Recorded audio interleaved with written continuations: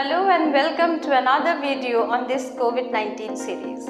Myself Sonali Soma Mukherjee in front of you with a very important topic about the history of this COVID-19 uh, virus that is the genome characteristics of beta coronavirus and SARS-CoV-2. All this will be discussed in this video. For this you need to be uh, with me.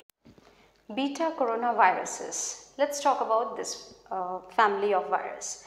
Now see, uh, beta coronaviruses are uh, means positive sense strand RNA viruses enveloped of course and this virus is positive sense strand. Let me tell you briefly about this positive sense strand and uh, negative sense strand. When the genetic material of the virus is RNA, it is RNA virus. In this case, if it is a positive uh, strand, sense strand, we call it positive strand is called a sense strand. Now in this case what happens is at the time of transcription the viral mRNA can be directly translated into proteins. That's why it's positive uh, sense strand we call it.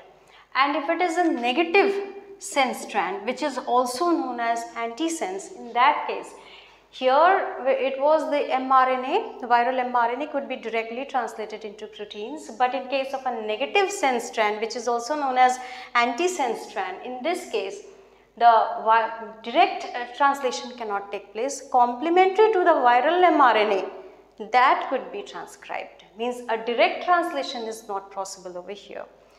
So this is a difference in case of corona uh, beta coronaviruses this is a positive sense strand of a virus and in this virus each genome encodes polyproteins uh, which will further go on with the process of proteolysis and will become on, uh, non-structural proteins such as 3-CL, uh, PL or even RNA dependent RNA polymerase uh, RD, RP that is RNA dependent RNA polymerase this is a family of uh, virus that is uh, belonging to family Coronaviridae and the length is somewhat 27 to 32 kilobytes in size. And in this case, we can talk about the virus that it is the where a comparison has been lined up with the human genome of over 3 billion nucleic bases, uh, nucleotide bases and a virus uh, genome is such a small one, only 30,000 letters long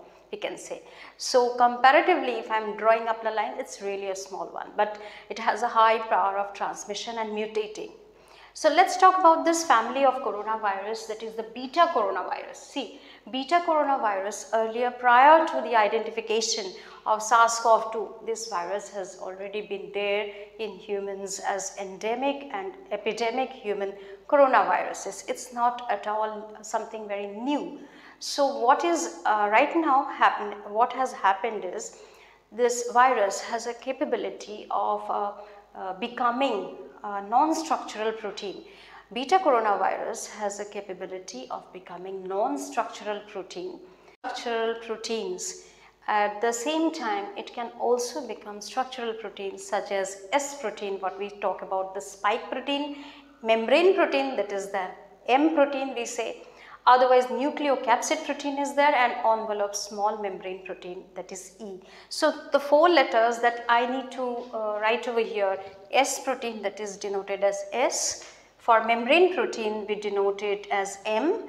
Then N envelope uh, small membrane protein you can denote it with E. And lastly that is SME and lastly comes the nucleocapsid protein that is N.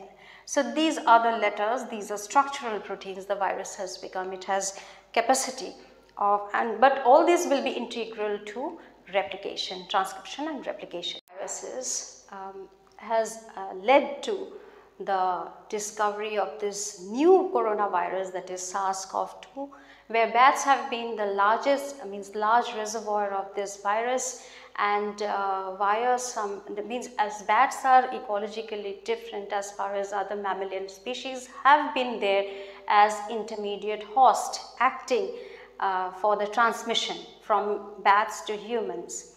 Now comes the uh, means capability of this virus. Look, beta coronaviruses have got a great capability of proofreading mechanism. At the same time, replication and proofreading mechanism. Now it has a means it has a, a superior capability to mutate and as it mutates it transmits also. So the power of replication is also very high at the same time high error rate is also there but it has a proofreading mechanism to find out first of all find out and then uh, talk uh, how we are going to uh, means have our strategy prepared. So all these topics have been very linked.